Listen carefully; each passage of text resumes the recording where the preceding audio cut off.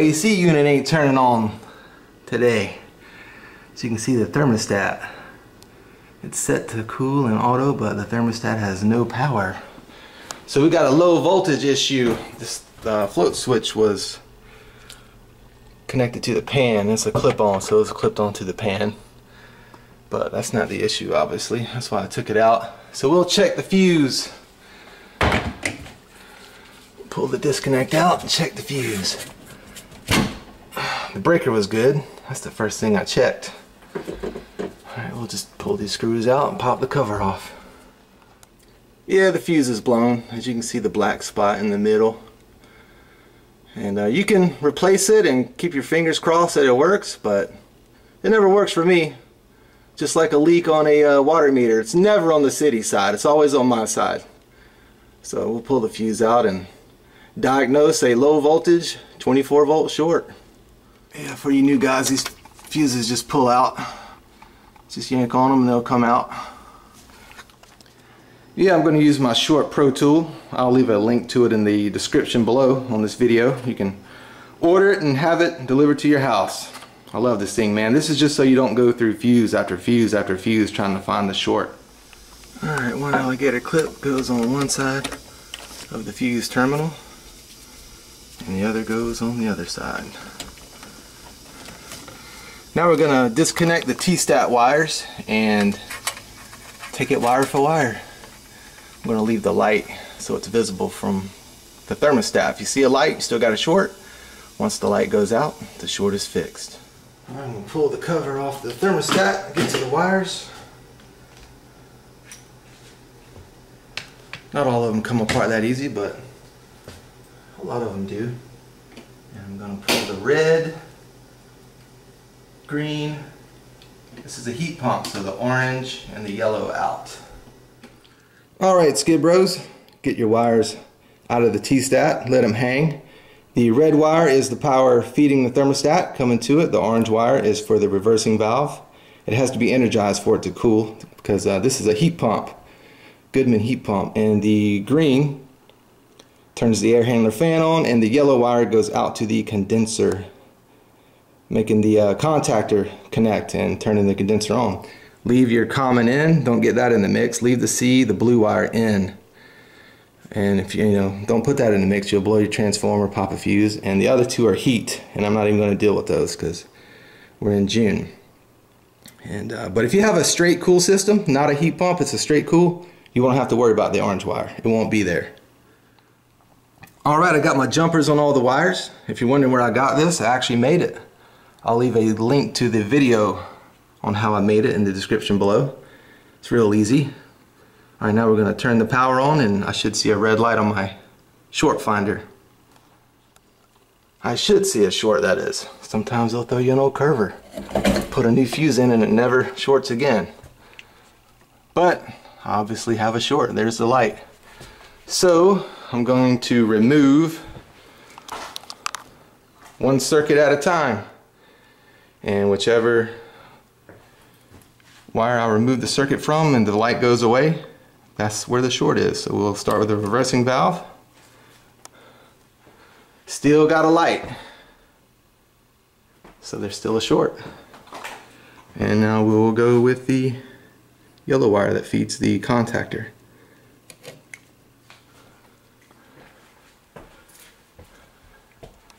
no light so that's where our short is on the yellow wire. There goes the old fanage. So our short is on the yellow wire. First I'm going to go out and check the contactor. Ohm it out, make sure it's good. Make sure it ain't got an old roach leg roasted in there. And make sure your power's off.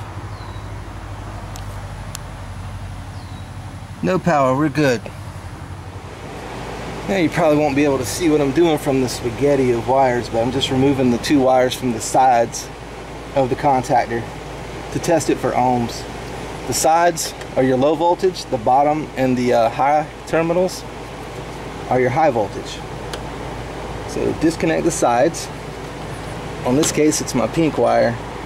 Pink, and, pink, pink on the left, blue on the right.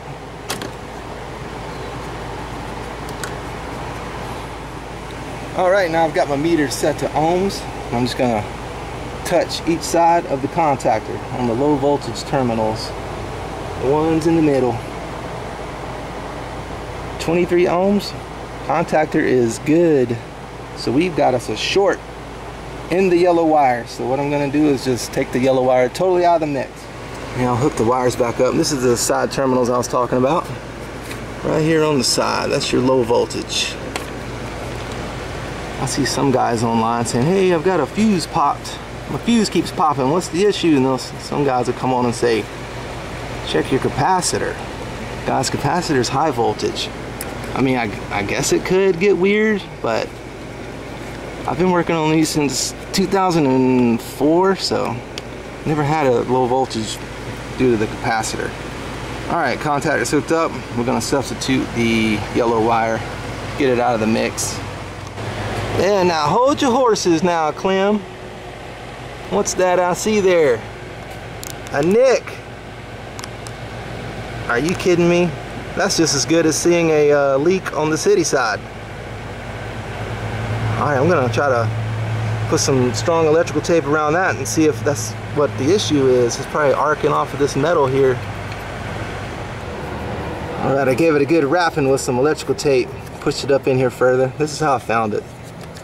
So I didn't build the place. All right, guys. I'm just covering the nick. All right, I got my jumper hooked back up.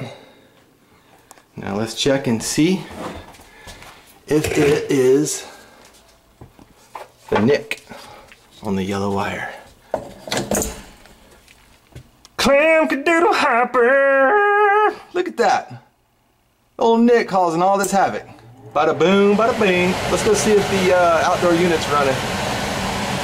Dog. It's running. I'm gonna put some padding in here too, just to padding that up so this ain't so abrasive. All right, here's what I would have done if I didn't see a nick on the yellow wire. Sometimes it just, it burns up in, in the, uh, the chase, in the wall, and there's no way you can find it. It's just too much wire. So instead of running a new wire, here's what I would have done. I would have taken one of these wires not being used. There's a brown, a black, and a green.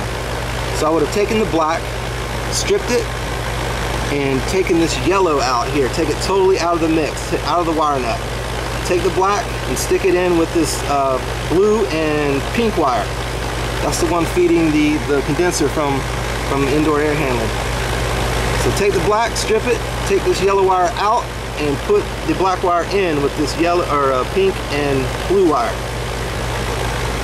Then go upstairs and continue doing the same thing, taking the yellow wire totally out of the mix. All right, this is the strand going down to my condenser. So, and do the same thing in the air handler. Disconnect the yellows, take the blacks on both sides, strip it, and connect them. And last but not least, do it on your thermostat as well. I just go all the way so it doesn't confuse anybody. Black wire, strip it, and stick it into the yellow terminal on your thermostat, the Y. And that's what I would do. I've done it hundreds of times, and it works when there's a break in the wire somewhere in the wall, in the chase, who knows. But uh, that's what I do. And also guys, if you don't have all this fancy stuff, you know, you're on a baller's budget and you can't afford cool tools yet, that's okay, I've been there.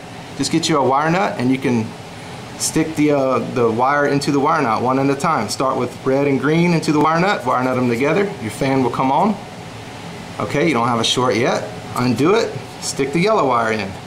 Wire nut them together, turn the power back on, boom, if you got a short, that's where you're, that's the, the trouble wire, the yellow one and then continue on until the uh, until it pops. That's how you can do it with a wire nut. If you don't, if you're on the baller's budget, you don't have cool tools yet. It's all right. I've been there, Skid.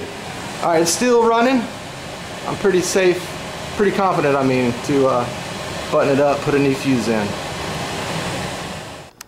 All right, I plugged a new fuse back into the terminal and got my thermostat wired back up. I'm gonna put the cover back on and test this baby out. Well, the thermostat's on. That's good news. Now we'll wait through the infamous heat pump delay, which you can reset for shorter, but man, I don't like messing with stuff. And some of you new guys, uh, just be patient. You know, you, you fix the thing and then you say, oh, it's still not coming on. Wait till that blinking goes away. When it's solid, cool on, not blinking, that's when it's ready. It'll come on or not. Alright, the unit came on. See how the cool isn't blinking anymore? If you don't hear a fan and that's solid, you got still got issues. You can hear the air handlers running. Let's go outside and make sure the condenser's running as well. Alright, the outside unit's on. Moving some good heat. Good sweat on the lines. Nice and chilly suction line. Oh yeah, it's cooling down nice. It's been running for about 20 minutes. I like to hang out with the system. That's one little piece of advice I can give you new cats. Hang out with the system, man. Be patient. I hang out with it just to make sure. As soon as you leave, you know, you say, oh, okay, that's it, and you leave like two or three minutes later, and then the unit shuts off. Hang out with it. Yeah, it's cooling. It's good. Yeah, and real quick again, guys, I'll leave a link to the uh, Short Pro Tool in the description below in this video. You can have it delivered to your house. This thing's pulled me out of many a jam. You don't have to go through fuse after fuse after fuse. Alright dudes, uh, low voltage shorts suck. You gotta be patient. Look for nicks. If you don't see a nick, no, no signs of trouble, just substitute the wire out, replace it. Take the yellow or whatever totally out and replace it with a wire that's not being used. You'll be should be good to go. Alright, thank you all for watching the Dirty Maintenance Show.